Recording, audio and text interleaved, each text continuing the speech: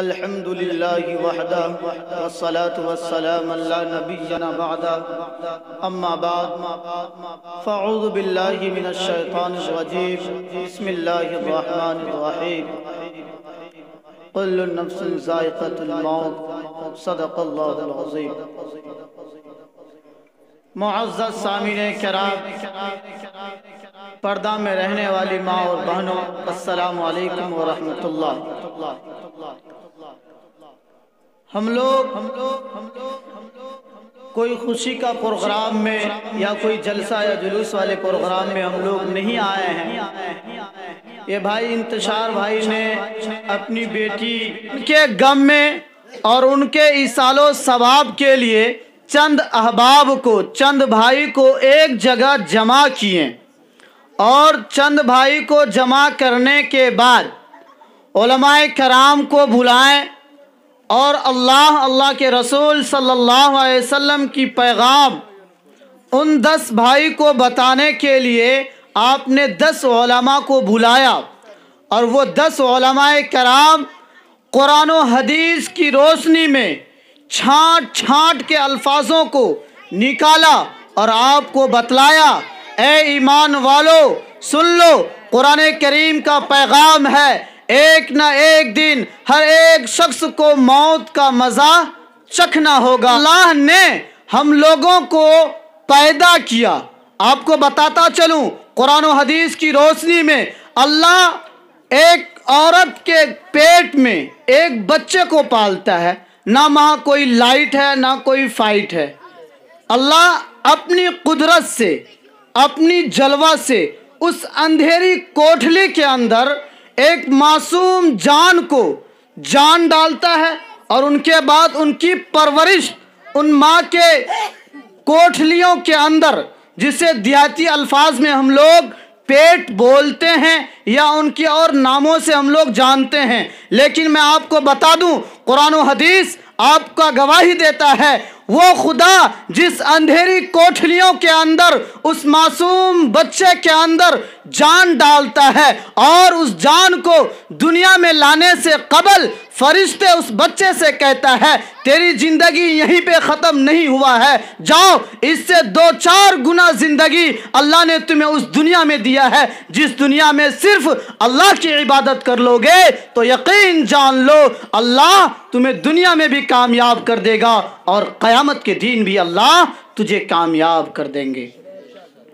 और बहुत सारे इलाकों के अंदर, बहुत सारे समाज के अंदर बहुत सारे कलीमा को मुसलमान भाई कहते हैं कि हमारा बच्चा अभी हॉस्पिटल के अंदर या घर के अंदर पैदा हुए और वो अल्लाह को प्यारे हो गए। आपको मैं बता दूँ, कुरान आपको चीख चीख कर पुकारता है।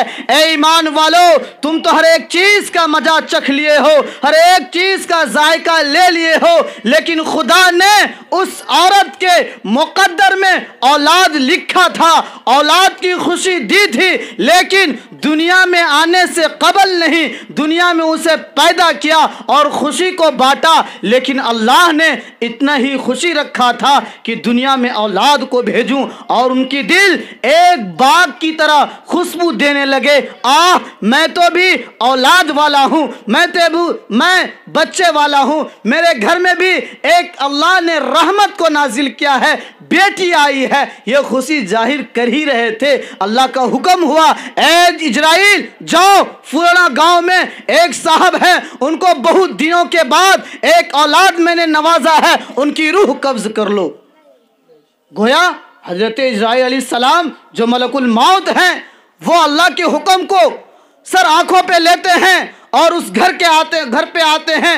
माँ अपने सीने से उन मासूम सी बच्ची को, उन मासूम सी बेटी को सीने में लगाई हुई रहती है, अपनी आंचलों से ढक लेती है। गोया के अपने सीने में अपनी बच्ची को चिपकाई हुई रहती है और अल्लाह का हुक्म हो गया उधर, ए इजराइल, जाओ, रंगपुरा की गाँव है, फुलाना मोहल्ला है, उस गाँव के एक मासूम सी बच्ची है जो गोद में खेल रही है, उनकी रूह को ले आओ।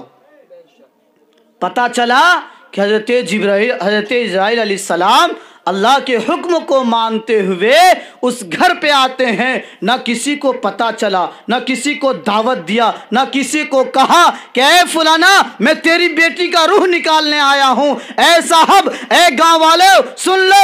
ए पड़ोसी, सुन लो। मैं फलाना अब्दुल रज्जाक की बेटी है। मैं उनकी रूह कब्ज करने आया हूँ। ऐसा फरिश्ता नहीं बताते हैं। अल्लाह का हुक्म हुआ रज्जाक की बेटी का रूह कब्ज करके चले गया। जाता कि नहीं जाता है? ये तो माँ के कोख से बच्चा पैदा हुआ और उनकी रूह निकल गया। वो उतना गम करता है, उतनी गम के अंदर अपने आप को डुबो लेता है कि हमें अल्लाह ने औलाद दिया, हमें अल्लाह ने औलाद रहमत दिया। हम उस खुशी में पागल थे, लेकिन पता नहीं कौन सा दुश्मन का, कौन सा समाज वाले भाई का, बहन का नज़र लग गया। मेरे बच्चा, हमारी बच्ची हमसे जुदा हो गई। आज हमारे समाज में है कि नहीं भाई? आज हमारे समाज के अंदर पैदा होते ही किसी का बच्चा डेड कर जाए, हम लोग क्या बदलामी देते हैं? क्या बदलामी देते हैं? किसी का नज़र लग गया है, या तो जादू टोना कर दिया है, मेरा बच्चे को खा लिया। कहते हैं नहीं कहते भाई? आपका अकायद तो गलत हो गया ना? आपने नियत और आपका जो तमन्ना था, वो गलत कर बैठा। देने वाला जात कौन है भाई? बताएँ भाई, कौन है देने वाला जात? कौन है? अल्लाह है। जब आप इस चीज़ पर यकीन रखते हैं, देने वाला जात अल्लाह है और लेने वाला जात कौन है? दुनिया वाला। कोई जादू टोना करने वाला। ऐसा हो सकता है। ऐसा हर गिज नहीं हो सकता है, क्योंकि कुरान ने चीख चीख कर पुकारा, जो खुदा तुझे दिया है, वही खुदा तुझसे लेगा। आपको मैं बताता चलूँ, बुखारी शरीफ का रिवायत है। अल्लाह के नबी सल्लल्लाहु अलैहि वसल्लम फरमाते हैं, जो अल्लाह के खजाने में कोई गलत फहमी रखता है, गलत फहमी का मतलब यह है, खुदा ने दिया है, दुनिया वाला हमसे छीन लिया है। कोई जादू करके, कोई डैन वाले अल्फाज को लगाकर हमारे बच्चे को हमसे दूर कर दिया है तो वो बिल्कुल गलत करता है, और हदीस की रिवायत है, वो शिरक है। किसी आदम जात की औलाद को अल्लाह ये ताकत नहीं दिया है कि किसी इंसान की रूह कब्ज कर ले। कराम बैठे हुए हैं। आप उनसे बाद में या अभी उनसे आप तफसील पूछ सकते हैं, किसी इंसान को अल्लाह ये ताकत नहीं दिया है किसी इंसान की रूह को कब्ज कर ले, किसी इंसान को मार दे। और दूसरी बात यह भी आता है अक्सर बेशतर हम लोग दौरा जब करते हैं, गाँव समाज के, आप भी देहात के रहने वाले, हम भी देहात के रहने वाले। लेकिन फ़र्क ये होता है कि आप कुरान से दूर हैं, लेकिन अल्लाह ने आपके दुआ के तुफेल में, आपकी दुआ की असर की वजह से आपके गाँव समाज के अंदर कोई बच्चा हाफिज कुरान बनता है, कोई बच्चा आलिम दीन बनता है, वो कुरान को अपनी जहन के अंदर, अपने दिलों के अंदर कोट कोट के भर लेता है। वो आपको बताता है। क्या बताता है? अब्बा, आप जानते हैं, मैंने कुरान करीम के अंदर पढ़ा था, मौत का मज़ा चखना होगा। कैसे चखेंगे? मौत किसको कहता है? मौत से पहले हम लोगों को क्या करना है? कैसे करना है? आज मैं आपसे सवाल कर दूँ, आज मैं आपसे पूछ लूँ, आज आपका मके खेत है। आप उसमें कितना खाद डाले हैं? काय बोरा यूरिया डाले हैं? आपकी ज़ुबान पे फट फट अल्फाज आएगा। पाँच बोरा मैंने यूरिया यूरिया डाला है, इतनी खेती की है, इतनी नुकसान हुआ है, इतना फ़ायदा हुआ है।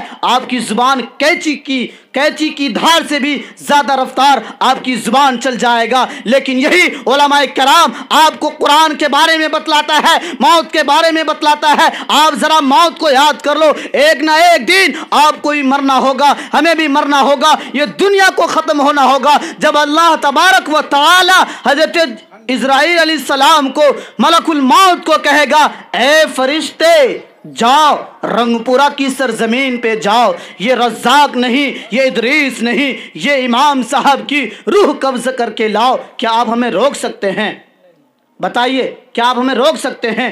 बिल्कुल नहीं रोक सकते हैं। हम नमाज़ में रहेंगे, उस वक्त जब अल्लाह का हुक्म हो जाएगा, फरिश्ते को कह देगा तो हमारी रूह उसी वक्त खत्म हो जाएगी। दुनिया में हम लोग, हमारी बॉडी या हमारा तन बदन एक ठाट एक बेजान पड़े रह जाएगा। रहता कि नहीं रहता भाई? कोई इंसान हमारा बाप गुजर जाए, उस बाप की लाश को, उस बाप की बॉडी को मैं छू, क्या वो हरकत कर सकता है? वो हिल सकता है, नहीं हिल सकता है। क्यों नहीं हिल सकता है? क्योंकि अल्लाह ने उनकी जिसम से रूह को निकाल लिया है, जो हरकत करता है, अल्लाह ने उसे छीन लिया है, अल्लाह ने उसे बुला लिया है, इसीलिए वो हरकत नहीं कर सकता है। इसीलिए मोहतरम हज़रत आप को एक पैगाम यहाँ से ले जाना होगा। उस पैगाम पर सौ फ़ीसद आप अमल कर लेंगे। तो यकीन जान लीजिए, ये घर वाले का प्रोग्राम कराना और बेटी के लिए सबाब के नियत से ये प्रोग्राम को रचाना, उनका कामयाब हो जाएगा। वो पैगाम क्या है? ईमान वालों, अपने कुरान हदीस की रोशनी में झाँक के देखो, उनके अंदर डूब के देखो, क्या कराम फरमाते हैं बुजुर्गान दीन फरमाते हैं, अरे इंसान, आदम की औलाद हो या गैर जानदार चीज़ हो, अल्लाह का हुक्म के मुताबिक उसे एक ना एक दिन दुनिया छोड़ना होगा। कैसे छोड़ेंगे भाई? आप मौसम के एतबार से आइए, अभी देखिए जरा सा पत, हवा चलता है तो गाछ का जो दरख्त होता है, उनका पत्ता बखूबी झड़ना शुरू हो जाता है। और कभी काल ऐसा भी वक्त आता है कि इंसान उस दरख्त के ऊपर चढ़ जाए और उनकी टहली को काटना शुरू करे, फिर भी पत्ता नहीं झड़ता। आप फैसला करें, ये मौसम और ये ताकत कौन दिया? इंसान दे सकता है। कोई इंसान के बस में है कि गाज को कह दे, दरख्तों को कह दे, एक हवा चली है तू पत्ता गिर जा तो गिर जाएगा, नहीं गिरेगा। इसलिए नहीं गिरेगा कि खुदा का हुक्म नहीं हुआ है। इसीलिए हदीसों की रिवायत है। हदीस की रिवायत है। अल्लाह तबारक व ताली फरमाते हैं, ईमान वालो, हर एक चीज़, हर एक चीज़ दुनिया में मेरा मोहताज कर आज हम भी खुदा के मोहताज हैं। इंसान को जो मौत आती है, फरिश्ता जो ले जाते हैं, वो भी फरिश्ता कहता है, अल्लाह हुक्म करेगा तब ना उनके बात पे अमल करेंगे। फरिश्ता भी अपने मन से किसी का रूह नहीं निकालेगा। निकालेगा तो क्या वो मार खाएगा? आपके पास कोई ज़बरदस्ती ठीक गोली लेके आ जाए, आपको कहेगा, चल, खुदा बुला रहा है तो आप मानिएगा। मानिएगा भाई? नहीं मानेगा। क्यों? कोई अपनी दौलत या अपनी ताकत या अपनी गुरूर की वजह से किसी को ये धमकी दे कि मैं तुझे मारने आया हूँ, खुदा मुझे भेजा है तो हम लोग क्या कहेंगे उसे? सला, दुनिया का सबसे बड़ा पागल तू ही है। खुदा तुझे आके खाम में कह दिया कि फलनमा का मौत ले लो। कि तू फरिश्ता है रे हैं तो हम लोग उल्टा ही भाषा उनको सुना देंगे, लेकिन फरिश्ते को आप सुना सकते हैं। अभी जो हमारे हज़रत मुफ्ती शम्स तबरेज साहब की बयान हो रही थी, बहुत कीमती बयान आपको बताएँ। बचपना का वक्त आया, जवानी का वक्त आया, बुढ़ापा का वक्त आया, घुटना काम नहीं करने लगा, रीढ़ की हड्डियाँ आपकी साथ छोड़ दी, और आप मौत के घड़ी, मौत के करीब आ गए, लेकिन उस मौत के करीब में भी आकर आप अल्लाह को याद नहीं करेंगे। तो हम समझ, हम समझते हैं, खुद खुद अपने आप को एक चीज़ को साबित कर देते हैं। अल्लाह को हम भुला बैठे हैं दुनिया में। अल्लाह को हम लोग दुनिया ही में भुला बैठे हैं। क्यों? अल्लाह ने हमें बचपन की ज़िंदगी दी, जवानी की ज़िंदगी दी और बुढ़ापे की ज़िंदगी दी। उस बुढ़ापे की ज़िंदगी में भी हम मौत की तैयारी नहीं करेंगे तो हमारा ऐसा बदकिस्मत दुनिया में कोई भी नहीं है। क्यों? कल कब्र के अंदर, हमारे मरने के बाद ना हमारा बाप जाएगा, ना हमारी बीवी जाएगी, ना हमारा बच्चे जाएँगे। जाएँगे तो हमारे साथ जो कुरान ने पैगाम दिया, आपका अमाल जाएगा, आपका इखलाक जाएगा, आपके किरदार जाएँगे। आप रसूलुल्लाह सल्लल्लाहु अलैहि वसल्लम के सुन्नत को दुनिया में रहकर कितना ज़िंदा किए हैं और अल्लाह के हुक्म को आप अपनी ज़िंदगी में कितना अदा किए हैं वो आपके साथ जाएँगे। कहाँ जाएँगे? उस अंधेरी कोठलियों के अंदर जाएगा जहाँ जहाँ पे ना कोई आपका रिश्तेदार होंगे, ना कोई आपका दौलत साथ देगा, ना मकान साथ देगा, ना दुकान साथ देगा, सिर्फ़ साथ देगा तो क्या देगा भाई? आपके अमाल देगा। जब आप इस चीज़ को मानते हैं तो आप एक चीज़ को, एक चीज़ का यकीन कर लीजिए, एक ना एक दिन हमें भी मरना है। उससे कबल हम लोगों को मौत की तैयारी कर लेना है। कैसे करना है? आपको पता चलेगा, सबक मिलेगा, कहाँ से? आप अपने गाँव के, आप अपने इमाम से, आप अपने गाँव के ओलामा से जाके कुछ वक्त टाइम दीजिए उनको कि हज़रत आखिरत क्या है, कब्र क्या है। क़यामत का दिन क्या होगा? नमाज़ से हमें क्या फ़ायदा होगा? इन तमाम छोटी छोटी मसाइल को जब आप अपने इमाम से, आप अपने ओलमा से रास्ता कायम करके आप पूछेंगे, उनसे सबक सीखेंगे तो आपका कसम खुदा की दिल फट जाएगा कि क़यामत का मंज़र कैसा होगा, मौत का सख्ती, मौत का तकलीफ़ कैसा होता है? हदीस आपको बताएगा, जब किसी इंसान का मौत आता है तो वो इंसान जानता है और वो फरिश्ता जानता है जो अल्लाह ने उस फरिश्ते को उस इंसान के लिए मुसलत कर दिया। जाओ, उनकी रूह कब्ज करके लाओ। तो अल्लाह ने कह दिया, उन फरिश्ते से दुनिया में वो नमाज़ नहीं पढ़ता था, दुनिया में वो चुगली करता था, दुनिया में वो गिबत करता था। उनको दुनिया में थोड़ा सजा दे दो। दुनिया में उसे कुछ सजा दे दो। क्या कहता है? यहाँ चोरी कर लेंगे, किसी के ज़मीन हड़प लेंगे, किसी का बेईमानी कर लेंगे, मौत हमको झट आ जाएगा। अब फटैया भी लगता है अल्लाह का। जानते कि नहीं जानते हैं?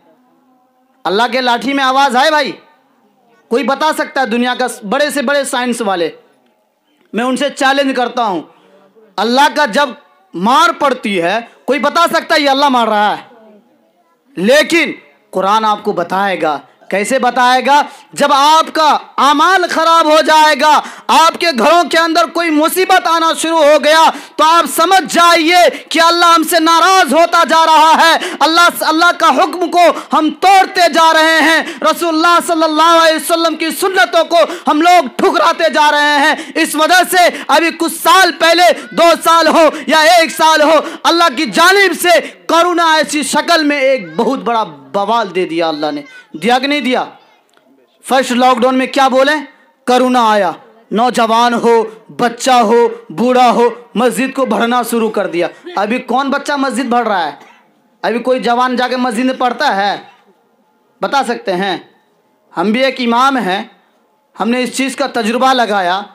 जब फ़र्स्ट लॉकडाउन हुआ करोना का महामारी हुआ मौत का दहशत आया कि करुणा आ जाएगा साला इंजेक्शन ऐसा देगा ना मट्टी नसीब होगा ना आग नसीब होगा। कहा तक नहीं कहा था गवर्नमेंट ने? अफवाह उड़ा तक नहीं उड़ा था भाई। कि एक ऐसा इंजेक्शन देता है वो सुखते सुखते मर जाता है उससे भी नहीं होता है तो गैस वाले आग से उनको जला देता है। है ना हज़रत? ना मिट्टी कबूल किया ना उसे लकड़ी कबूल किया ना उसे आग कबूल किया।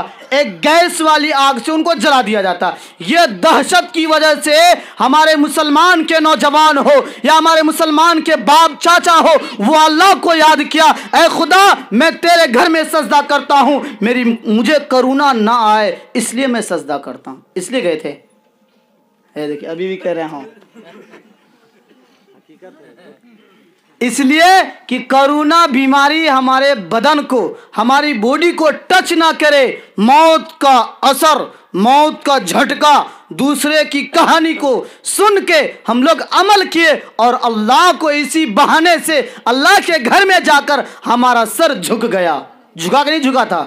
लेकिन कुछ देर, कुछ दिन, ऐसा माहौल, ऐसा हालात चला तो पता चला, बुढ़वा भी खेत में और छड़वा भी क्रिकेट के मैदान में।